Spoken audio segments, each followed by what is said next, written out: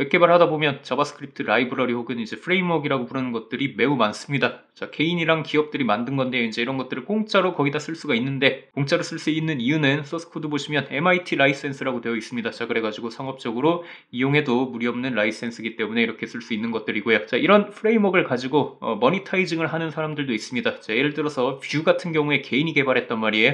자, 그래서 이 사람은 따로 이제 Patreon 같은 경로로 후원을 받아요. 혹은 framework를 만들어서 이제 유료로 이렇게 파는 회사들도 있습니다. 자, 그중 하나가 어, Remix라는 framework인데요. 자, 이거는 그냥 React랑 똑같습니다. 근데 server side에서 어, rendering을 할 수 있는 그런 React예요.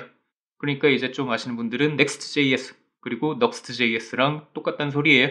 자, 처음엔 어, 이 framework를요 250달러 혹은 1000달러를 내야 이렇게 라이센스를 획득해서 내가 개발을 진행할 수가 있었습니다. 근데 유저가 별로 없는지 이제 몇 달 전에 무료로 이렇게 풀었는데요. 자, 어떤 이점이 있어서 이렇게 돈 받고 팔았는지 한번 알아보도록 할게요.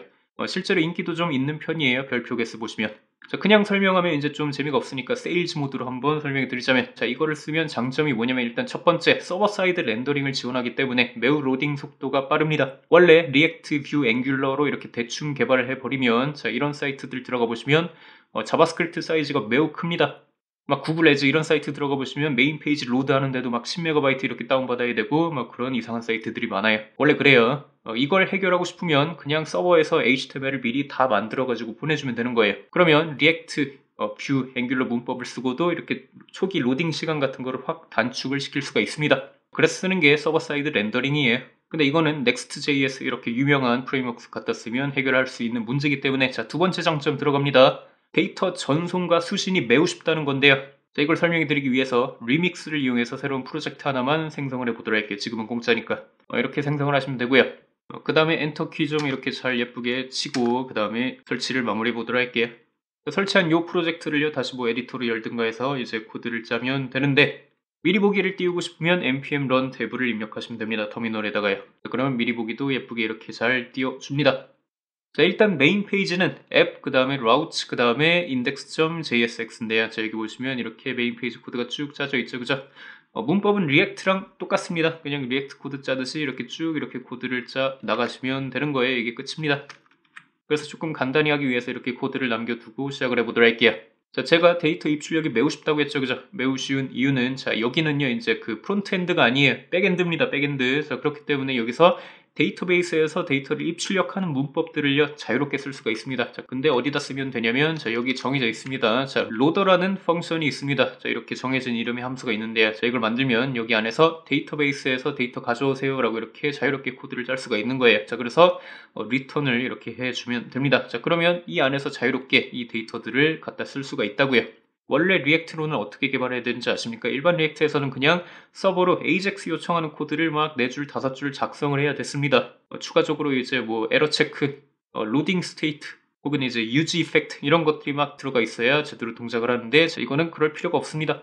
어, 그냥 여기서 데이터베이스 입출력하시면 돼요. 자, 여기서 데이터를 갖다 쓰고 싶으면 useLoaderData라는 이런 hook 같은 게 있습니다. 자, 이런 식으로 하시면 여기에 있던 데이터가 다 이렇게 이 자리에 뿅 출력이 됩니다. 그래서 이거 자유롭게 이렇게 뭐 HTML에다가 이렇게 갖다 박아 놓거나 그러실 수가 있습니다. 자, 이러면은 데이터 입출력 끝.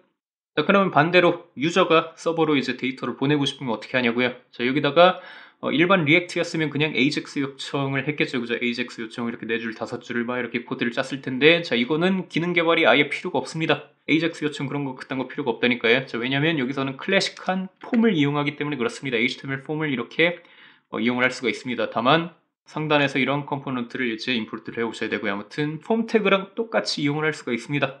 어, JavaScript 필요 없어요. 자 그래서 이 페이지 들어가서 전송 버튼을 누르잖아요. 자 그러면 사용자가 입력, 여기 입력한 데이터가 그냥 자동으로 서버로 전송이 됩니다. 예, 진짜로 여기다가 뭐 이렇게 입력해가지고 전송 누르잖아요. 그러면 이미 전송이 된 거예요. 자 그러면 서버에서 저렇게 보낸 데이터를 출력을 해보고 싶다. 그래서 이제 뭐 데이터베이스에 저장도 해보고 싶어요. 자 그러면 어, 출력을 해보고 싶으면 action이라는 함수가 있습니다. 자, 그거 그대로 똑같이 이렇게 작성해 주시면 돼요. 자, 이거 똑같이 복사 붙여넣기 하고요. 그 다음에 자, 이 데이터 변수 안에 어, 저렇게 폼에서 보낸 데이터가 다 들어있다고 보시면 돼요. 그래가지고 자, 이거를 출력해 보거나 뭐 이렇게 뭐 데이터베이스에 저장하거나 아무 아무거나 해주시면 되겠습니다. 그 다음에 이제 유저한테 이렇게 잘 받았다고 응답도 할 수가 있고요. 여기 null 대신에 뭐 이렇게 다른 페이지로 안내해 주세요. 뭐 이렇게 메시지 보내주세요. 이런 식으로도 코드가 작성 가능합니다.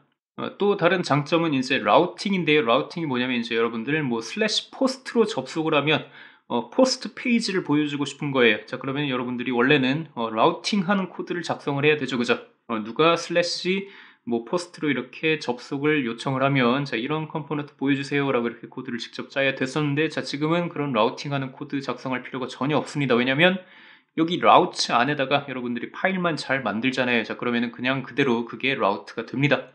자 예를 들어서 제가 slash post를 접속했을 때 뭐 post component를 보여주고 싶어요. 그러면은 그냥 파일 하나 만들면 끝이에요. 여기다가 post.jsx 라고 이렇게 코드를 짜고요. 그 다음에 여기다가 component를요. 네, 똑같이 만들어요. 이름은 뭐 다르게 하는 게 좋겠죠. post 페이지입니다. 이렇게 만들고 저장하고 한번 결과를 보도록 할게요. 제가 여기다가 slash post라고 이렇게 접속을 하잖아요. 그러면은 아까 만든 post component 보이죠, 그죠? 어, 여러분들이 routing하는 코드를 작성할 필요가 아예 없어요. 뭐 이런 것들이 간편한 점인데 다른 뭐 framework에서도 아마 쓸 수 있는 기능일 거예요. 자 그리고 이제 더 심화해서 이제 nested route를 만들고 싶다 예를 들어서 누가 slash post 그 다음에 slash comment로 이렇게 URL을 때려박아서 이렇게 접속을 하잖아요 그러면은 여기 밑에다가 뭐 comment라는 component도 보여주고 싶은 거예요 자 그러면 이런 것들도 여러분들이 routing하는 코드 같은 거를 작성할 필요가 전혀 없고요 그냥 여기다가 폴더 파일만 잘 만들어 주시면 되는 거예요 여기다가 route 안에다가 폴더 하나만 만들어 보도록 할게요 post라는 폴더 만들었고요 그 다음에 여기다가 comment.jsx를 하나 만들어 보도록 할게요. 그 다음에 여기다가 comment라는 component를 하나 만들어 보도록 하겠습니다. 여기는 댓글임. 자, 이런 component 만들었습니다. 자, 그 다음에 저장하시고, 자, 그 다음에 저 comment라고 이렇게 component를 보여줄 곳에다가 이렇게 outlet이라고 이런 뭐 component 하나를 이렇게 작성을 하잖아요. 자, 그러면 그냥 자동으로 아까 말했던 routing 끝이에요. 한번 테스트 해보도록 할게요. 자, 새로 고침하고 이제 slash post 그 다음에 커멘트 라고 이렇게 접속을 하잖아요. 자 그러면은 아까 만들었던 그 댓글임 component도 잘 보이죠 그죠? routing 할 필요가 전혀 없습니다. 그리고 routing 할 때 URL parameter 같은 것도 입력을 할 수가 있고요. 그리고 이제 data validation도 매우 쉬워집니다. 이제 데이터를 이제 데이터베이스에 저장하기 전에 검사를 해야 될 거 아니에요. 이게 문자인지 숫자인지 이메일 형식이 맞는지 그런 것들도 기본 기능으로 되게 쉽게 갖다 쓸 수가 있고요. CSS 모듈식으로 개발하는 거 그러니까 이 CSS 파일은 이 component에만 적용해 주세요라고 이렇게 코드 짜는 것도 좀 쉽게 어, 적용을 할 수가 있고요. 여기다가 이제 뭐 스타일 폴더 만들어서 import만 잘 하시면 되고요. 그거보다 가장 큰 장점은 이제 server side에서 rendering, React rendering이 되기 때문에 이제 user한테 보내는 코드 중에 JavaScript 비중이 매우 적습니다. 거의 JavaScript 없어도 거의 잘 작동하는 그런 사이트가 완성이 되는 거예요. 어, 로딩 속도도 매우 빠르고 동작 속도도 매우 빠르겠죠, 그죠? 어, 하지만 어, 이제 훌륭한 대안인 Next.js, Next.js 이런 것들이 있기 때문에 굳이 이걸 갖다 쓸 필요는 없어 보이고요.